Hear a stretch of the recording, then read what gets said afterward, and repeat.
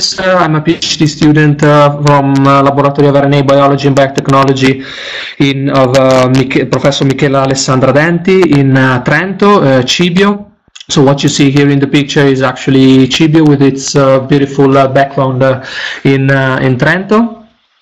And uh, as you know, the, the main topic of today is uh, uh, pitfalls and problems in microRNA expression analysis. So um, I'll give you a brief introduction on microRNAs, um, even if I'm sure you know, you all know what they are. So um, um they are uh, uh, so small non-coding RNA molecules. They are about uh, 21, uh, 25 uh, nucleotides. They are deposited in the nucleus uh, by first by the Drosha complex and then they are exported uh, and uh, cut again by by dicer so mm, we have first the prime microRNA then we have the the pre-microRNA and then the mature uh, the mature microRNA that is uh, uh, inserted in the in the RISC complex. And then through that it hybridizes to its target uh, uh, either perfectly leading to the degradation of the messenger RNA so to of its target or uh, with an imperfect uh, uh, complementarity so leading to just translation uh, repression. Um, it can bind uh, mm, the either the uh, 3 prime UTR or the coding sequence or even the 5 prime UTR even if uh, majorly is just on uh, uh, the 3 prime uh, the 3 prime UTR so um, it is a post transcriptional regulation of gene expression. And here I wrote that we have a basically a redundant molecular network of microRNAs. This is because microRNAs, uh, a single microRNA can bind uh, uh, different uh, uh, mRNAs and um, um, a single messenger RNA can be bound by different uh, microRNAs. So that's why we have redundant molecular networks. And what is interesting about microRNAs is that they are used also as um, uh, cellular um, cell-to-cell communicators basically. And they are so released by the cell uh, either with an energy dependent method so when uh, the cell basically break apart and they are released uh, in the, the extracellular uh, environment or through um, an energy dependent way. So microvesicle exosomes apoptotic bodies uh, or lipoproteins proteins so but what is important is that they are released and then they are taken by other cells. So um, they can reflect uh, quite well physiological and also pathological changes in uh, cells, tissues, and organs, uh, and, and, and, the body as a whole. And uh, so going um, into the, what is the main topic, so the uh, expression analysis challenges, um, so we know that uh, the main source of microRNA, so apart, uh, of course, cells, uh, we have tissues uh, and then uh, biofluids like uh, plasma or serum or saliva. And uh, uh, main challenges come from the source uh, uh, preparation. So we lack basically standardized protocols for the processing of uh, um, the, the different tissues, the different uh, the different biofluids, and this is actually a, a major factor then uh, uh, we have uh, mm, the challenges in detection techniques, which mainly are uh, mm, so PCR, uh, sequencing, microRNA, and we'll see that.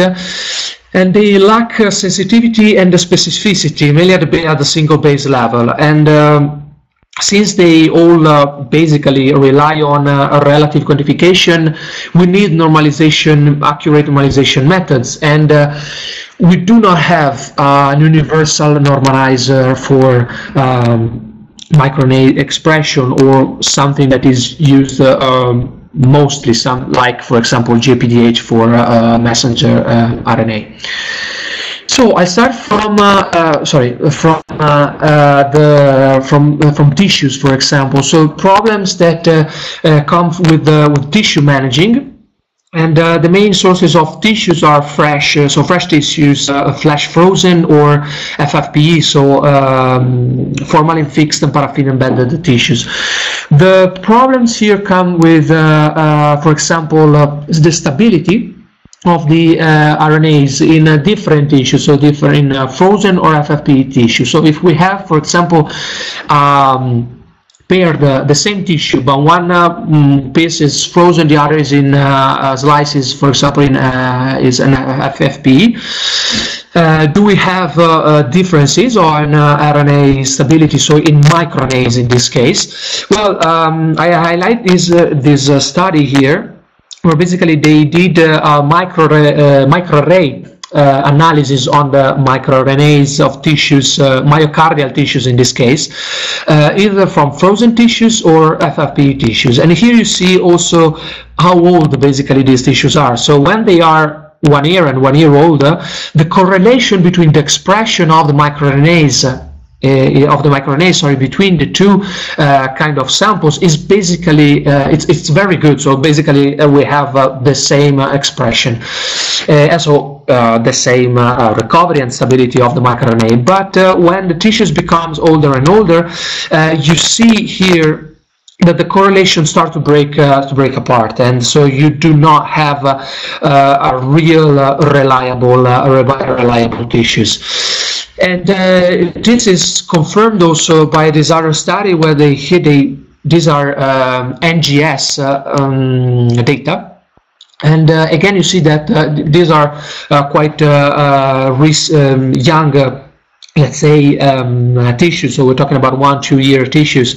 And you see that the correlation between uh, FFPE and frozen uh, pair tissues um, is is held. So microRNA is um, is um, is preserved. But uh, again, it's uh, more uh, about uh, the time. Uh, about the time of the and how old is basically sorry the age of the of the tissue that can influence really influence the the the stability of the microRNA. Actually, it's not only that, uh, we have problem also in the fix fixation itself. So if you're dealing with uh, FFP tissues and you're trying to express, uh, sorry, to uh, analyze the expression of some microRNAs, you have to be aware of the fact that probably uh, the GC content and the RNA structure itself uh, can lead to different stability of the RNA and especially for micro for microRNAs. Uh, here I put some uh, several literature that talks about uh, uh this uh, issue, and here I highlight just uh, one graph from one paper published in PLOS One, uh, where basically they uh, analyze the expression uh, uh again of uh, some microRNAs uh, in either FFP or the paired frozen tissue, and then they divided the microRNAs in groups depending on the fold change, so the difference of the expression between the two tissues. So the ones that are less expressed, we can say, in FFPE, the ones that are basically unchanged, and the ones that are more expressed, so looking at the fold change. And you can see that uh, this group uh, uh, can be uh, are can be distinguished, discriminated uh, also by their GC content. So saying that uh, probably the GC content that affects then, of course, sequence and then the structure that can uh, that can be taken by the, the microRNA can probably can probably uh, affect the uh, recovery of the RNA and the stability of the microRNA after uh, formalin uh, fixation. Then, of course, the other major issue is storage. as you all know, we've been, we've been taught uh, to uh, keep the, the RNA at uh, minus 80. Uh, actually, there are a lot of studies talking about also RNA kept uh, at minus 20 with uh, little or no, no degradation for not too much time basically so we're talking about some month not more so again minus 80 is preferable but mm, let's say that is again uh, more a matter of uh, how old is uh, how old is the tissue, how old is the RNA? It's already, for example, extracted. Is it in TRIzol or is it still in the tissue? So uh, uh, the storage is uh, is an issue. Well, depending on where is your uh, is your RNA in this case. Um, talking about other tissues, uh, in this case, biofluids like, for example, serum and plasma, you can encounter some problems if you have if you deal for example with the patient samples or uh, samples from uh, if you work with uh, animals like mice so maybe you you, you will use uh, serum or plasma uh, samples. So um, usually uh, they are in low titer so it's more difficult to um, detect them and analyze them. For human so human being we're talking about picomolar levels. I suggest you to, to read this uh, nice paper in PNAS uh, by Tuschl Group, uh, where they did uh, NGS studies on healthy individuals uh, um, also um, at like say um, at time zero and then uh, uh, at different time points uh, checking at the um, microRNA expression in serum and plasma. And then again, uh, uh, source preparation, so cellular contamination or hemolysis, as you know, we can have this rupture in uh, of uh, platelets of red blood cells, so contamination from uh, of microRNAs coming from this uh, from this kind type of cells. Then extracellular vesicles. So of course we have my extracellular microRNA coming from extracellular vesicles. So again, if you have some, you could have some contamination from cells, extracellular vesicles coming from these cells. So or just even be aware of the fact that uh, uh, we have different extracellular vesicles coming from different cell type and so with bearing uh, different uh, uh, cargoes uh, talking about microRNA in this case and then uh, uh, for example uh, gender specificity so there are um, there is an increasing interest in studying microRNA expression Mm-hmm.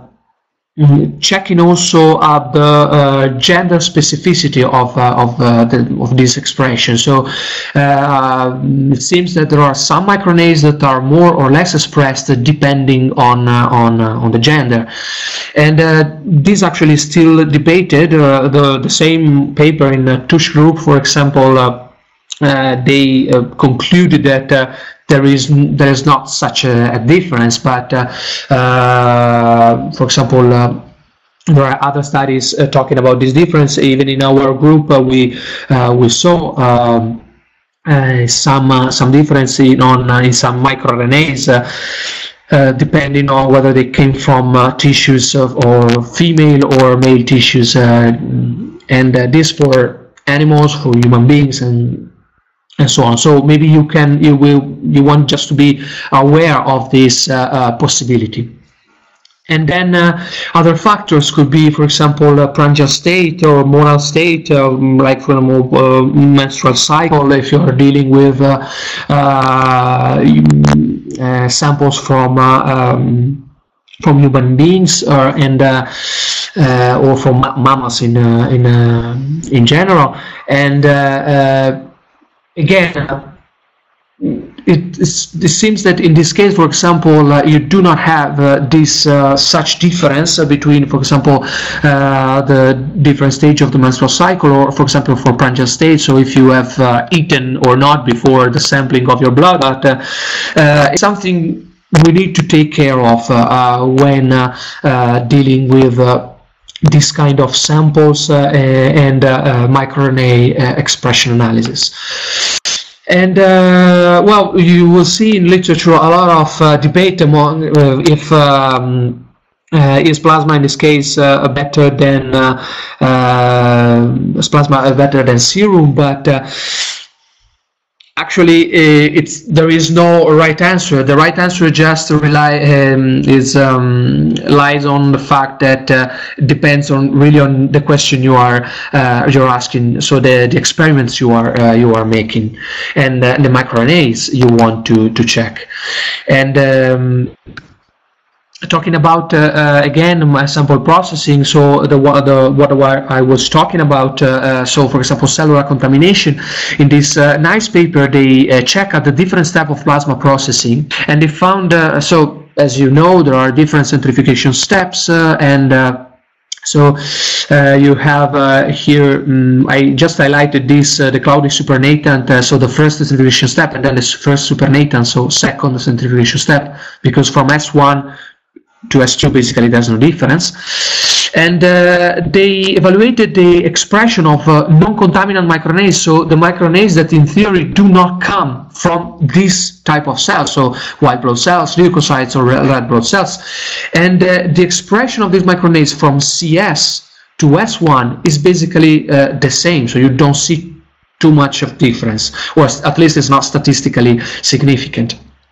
And uh, if you go on uh, contaminant microRNA, so the ones that come from cells, of course you see a lot of difference. So again, just to highlight the fact that uh, you have be uh, very careful and very aware of the microRNAs you're studying and where they come, uh, where they come from. In this case, talking about uh, plasma samples. And again, for uh, in this case, uh, for platelet, possible platelet contamination, mm, in this uh, other nice paper, they um, analyzed the expression of some microRNAs um, in different type of uh, enriched or poor samples uh, uh, for um, from platelets. So we have platelet concentrated plasma, plas platelet so rich or poor or filtrated. And for example, if you see the microRNA 223 which is platelet derived, uh, of course, uh, you see a, a, lot of difference between the different type of uh, processing. Instead, if you take 451, that is a red blood cells derived, you see uh, less difference among the different samples. So again, uh, be aware of this uh, of this possible of this possible um, contamination and differences among um, sample processing. Then uh, uh, after the, uh, the source processing, we have to do RNA extraction the let's say that the most used uh, uh, method is with uh, Guanidinium, uh, Guanidinium thiocyanate and so phenol chloroform extraction. And I want to talk to you about this very nice paper from the Kim group. is a letter to Cell that they sent after the retraction of a paper where basically they were misled in uh, their conclusions uh, due to problem of uh, RNA extraction. So what they conclude, uh, and I will tell you why, that the short structured RNAs, uh, like microRNAs of course, uh, with low GC content are selectively lost during extraction from a small number of cells. And in fact what they, they saw is that um, starting from different amount of cells, two different microRNAs are recovered, as you see here from this gel, in a different, uh, different way.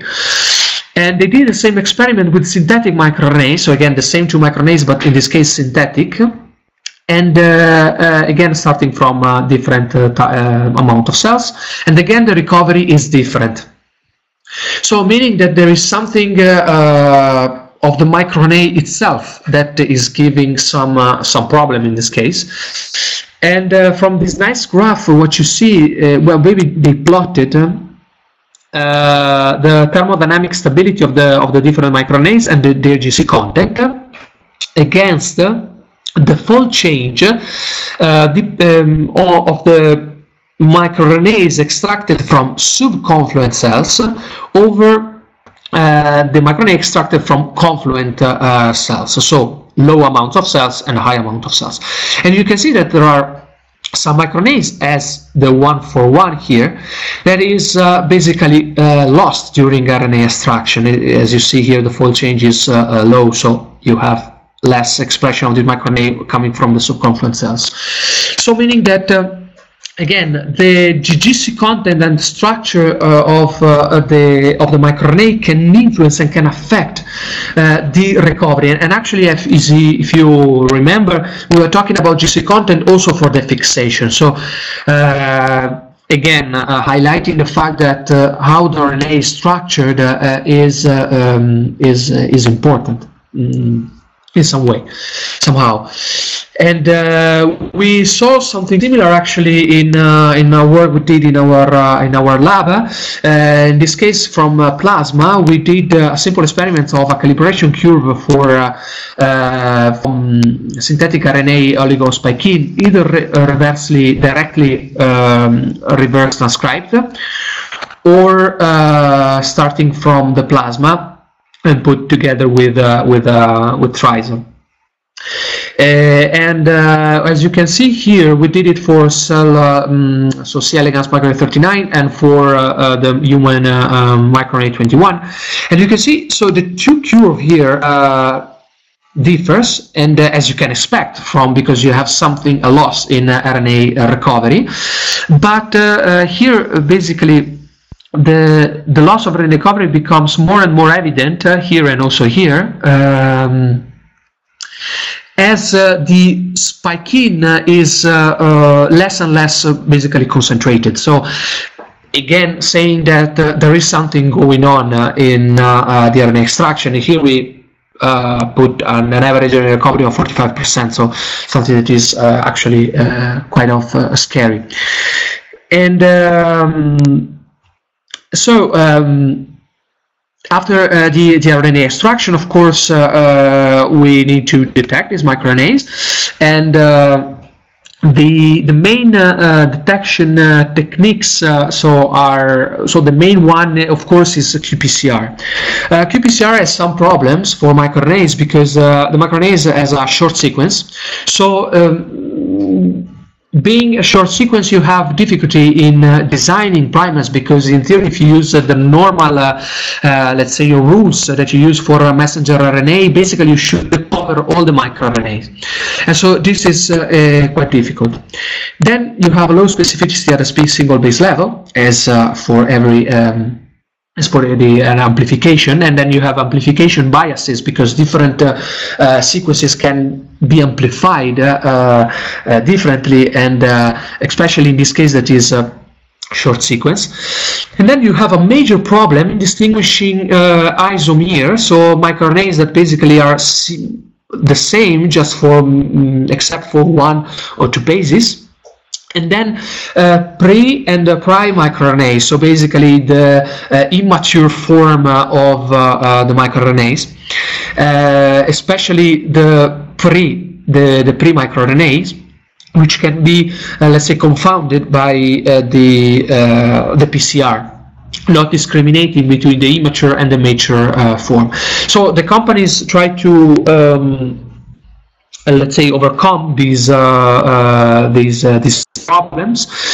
we have two main methods of detecting microRNAs and actually two main methods of doing the reverse transcription part. One is with the universal primer, so we have in this case a polyadenylation first, then you have a universal tag with the T, poly T, then so cDNA, uh, so the, the reverse transcription, then you have a, uh, mirror specific uh, primer uh, for the real-time uh, uh amplification. Uh, and then uh, we have also individual stem loop primers, so the ones that are specific already starting from uh, the uh, the reverse transcription uh, step and so the stem loop here in this case is is longer, is more stable, so it can uh, attach here to the to the microRNAs and give uh, a specificity, let's say, advance um, uh, advantage. While for the universal primer, mm, mainly are used uh, LNA molecules, so they are more stable because they are modified nucleic acids, and so they also can uh, uh, stabilize uh, the melting temperature that can be different between microRNAs and micro uh, microRNA. Uh, but uh, there are some difference between the two methods, and in this um, nice paper here, they showed where how different the two different techniques behave differently in uh, with different microRNAs. So uh, they divided the microRNAs uh, in uh, highly expressed, highly abundant, middle uh, abundant, and uh, low abundant microRNAs. And what you can see here is that for low, a very high abundant microRNAs, basically you have more or less the same results. Sorry. And for middle um, abundant microRNAs, you have um, again a good specificity for sequence-specific RT primers, and you have uh, amplification of uh, universal tailing RT primers, but uh, you start to see a lot of uh, um, um, let's say false positive uh, results uh, and and something that is not specific and specificity basically a specificity. And, uh, and for the low abundant microRNAs uh, the sequence specific RT primers uh, couldn't detect anything. The universal tailing primer detected something but is completely unspecific. So it seems that uh, uh, the universal tailing primers are more specific, uh, more sensitive, but less specific. Again, it's not that one is mm, for sure better than the other, but it really depends on what what kind of experiments you are running and what are the the answer you are looking for. Um, Then microarrays. So microarrays, of course, are multi multiplexing. Uh, talking about multiplex uh, multiplexing, actually now there are uh, panels of uh, done with uh, uh, PCR basically. So you have this plate with where in each spot you have the primers for an amplification step. and this, in this case, you don't have the, the technical triplicates. You have just the, um, the, the the statistical analysis basically is given by using uh, more more samples of the same condition. Uh, this is just to say that for multiplexing now you have also uh, panels uh, with uh, PCR and not just for microarrays. Uh, but talking about microarrays, uh, the problem with microarrays are similar to problem with PCR because you have a high risk of false positive. There is actually low accuracy at single base level.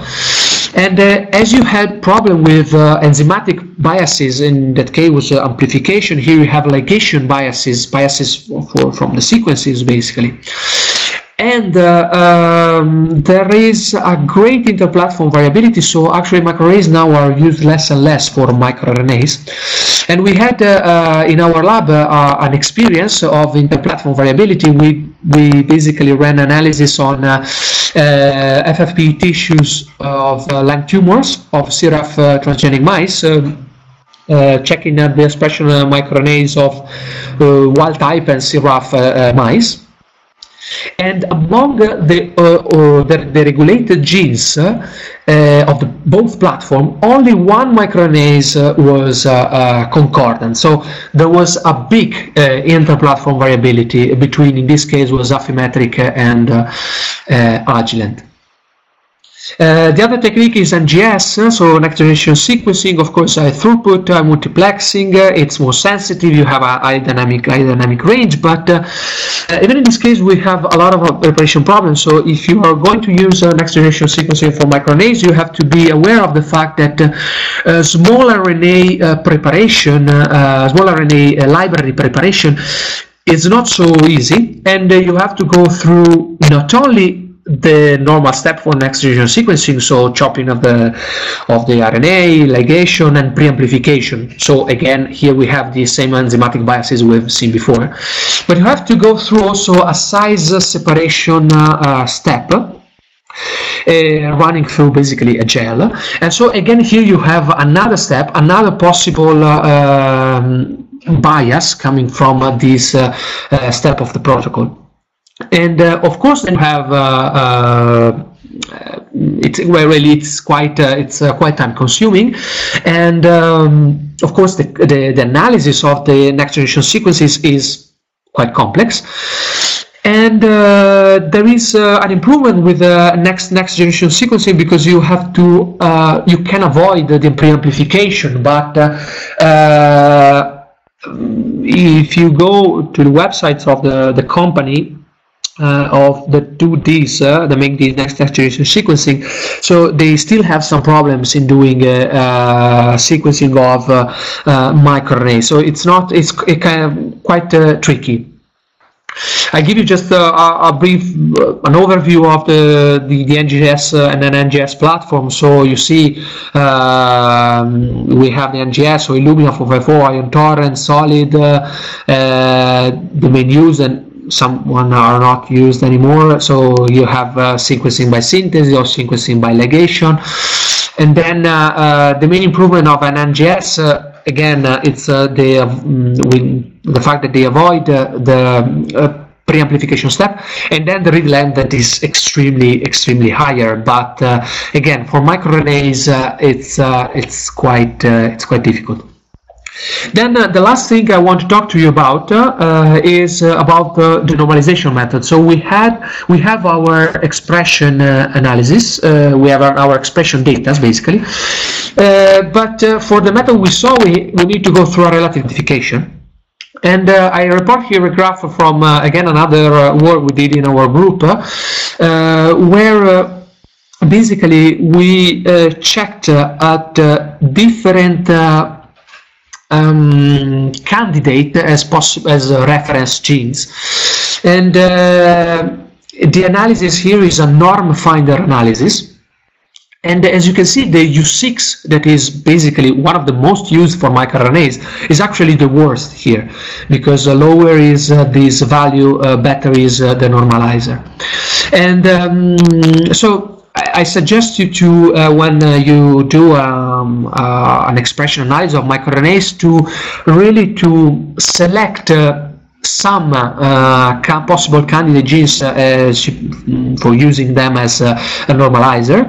And run some run some analysis like NormFinder there is geNorm also even in principle, even it's not so accurate, even in just a, a CT value analysis, it's uh, uh, can can be good, even if, of course, it's not so uh, statistically robust. And uh, again, uh, mm, going on with uh, with the with the story of this paper, basically we we had two conditions from cardiac condition. These are tissues human cardiac uh, tissues.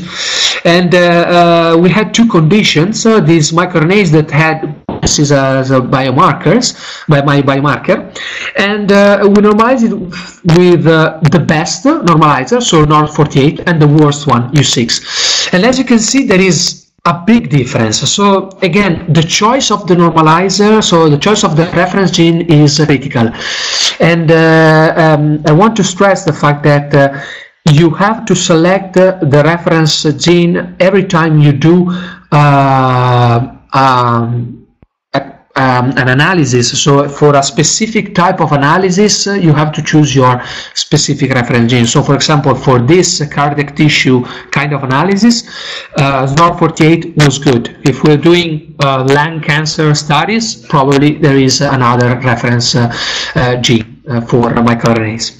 And uh, I give you, for example, just a general overview, for example, what you find in literature for plasma serum. You find a lot of U6, a lot of U microRNA 16, or also standard Q with synthetic microRNA like C. elegans microRNA 39.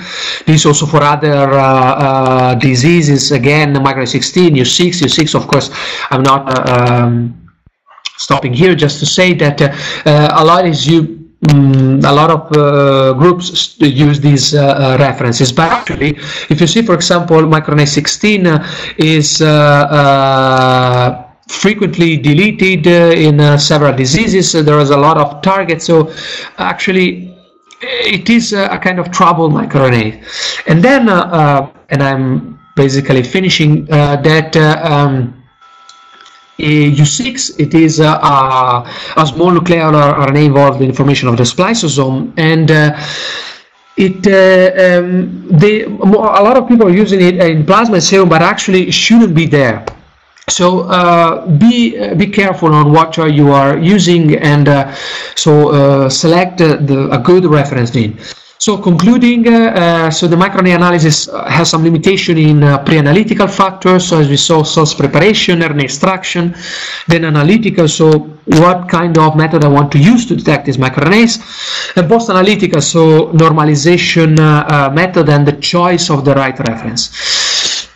We the well the scientific community is going towards uh, this detection of microRNAs uh, without RNA extraction, without PSCR uh, amplification, possibly, with a single base specificity, and trying to go uh, towards the uh, an absolute uh, quantification to avoid the relative the normalization uh, step. And uh, with this, I finish, and thank you for your attention, and I'm glad to answer to your question if you have any. Well, thank you very much, Simon. That was very enlightening. Uh, please type your questions into the chat box.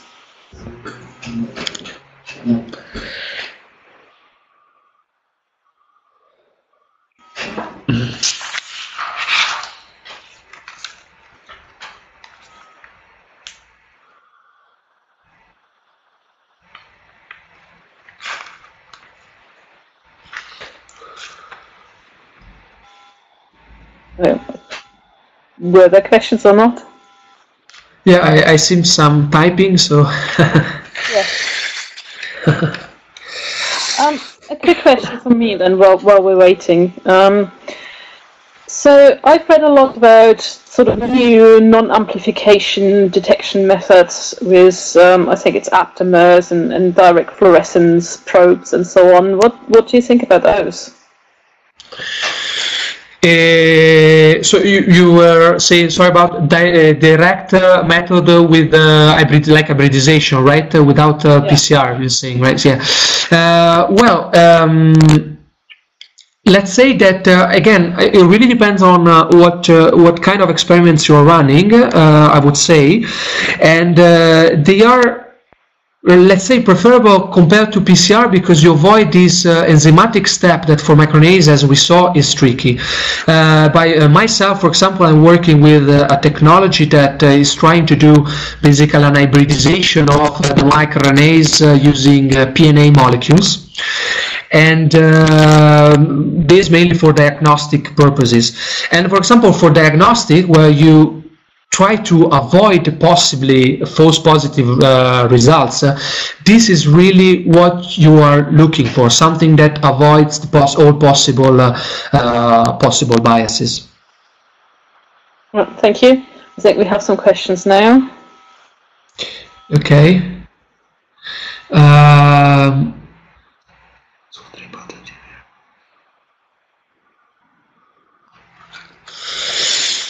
Uh, okay, so uh, well, answering to um, the first question from uh, Pedro, so about uh, uh, so anti uh, anti-miR experiments. Well, in in this case. Um, again uh, the problem uh, may be in uh, well the choice of the type of molecule you're using for for for um, for the the the sorry the the hybridization and so the um, down regulation, sorry, down of, of the microRNAs.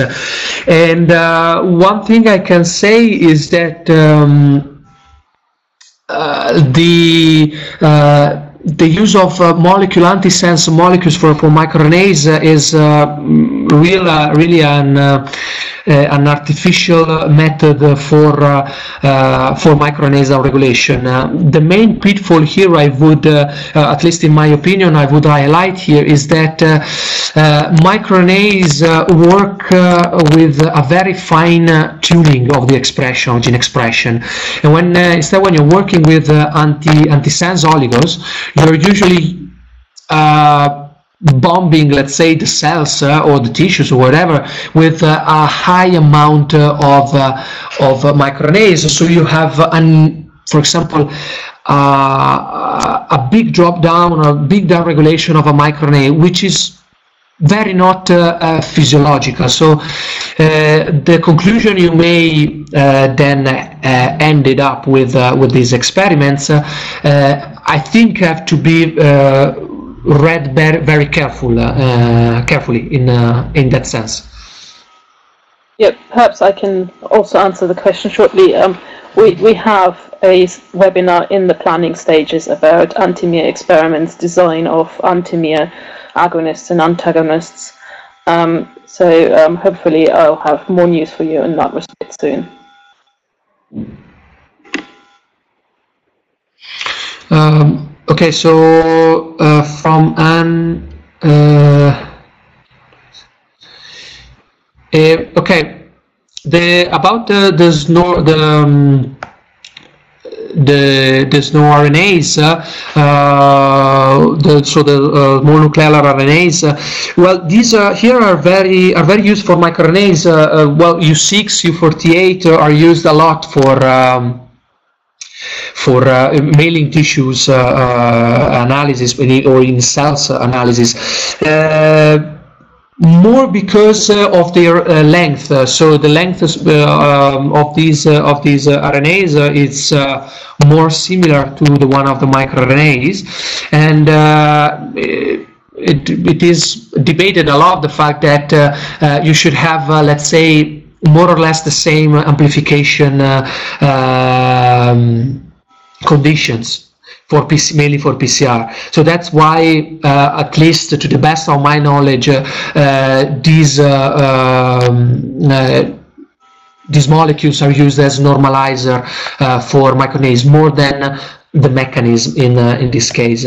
this you would argue more, for example, for GAPDH. And about the one normalizer, well. Um, it really depends again on what you are uh, what you're trying to do uh, but uh, again the use of more than one normalizer is uh, is used in literature a lot uh, could be a solution could be a solution if you uh, want to increase the reliability of your normalization. But this may be not always the case. Um, again more in the field, for example, of diagnostics, and you are trying to, in this case, to use uh, as micron as less microRNAs as possible, and so you, you try to use one normalizer. But for other uh, uh, applications, uh, it could be a it could be a good uh, uh, a good, good solution. Actually, for example, for microarrays, uh, what uh, is used a lot is uh, uh, the geometric mean or the global mean normalization. So using basically either all uh, microRNAs or a group, a set of them.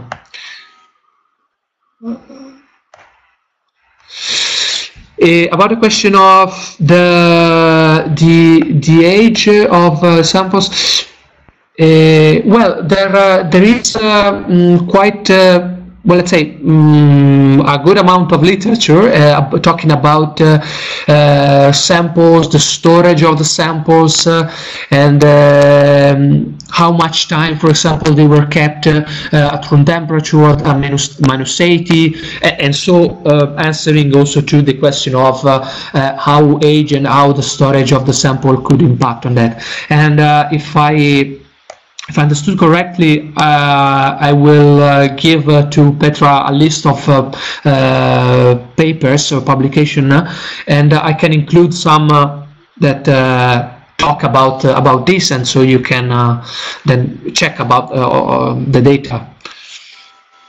Yes, yes, we will add a, a list of references to the website, so people can directly click through to PubMed.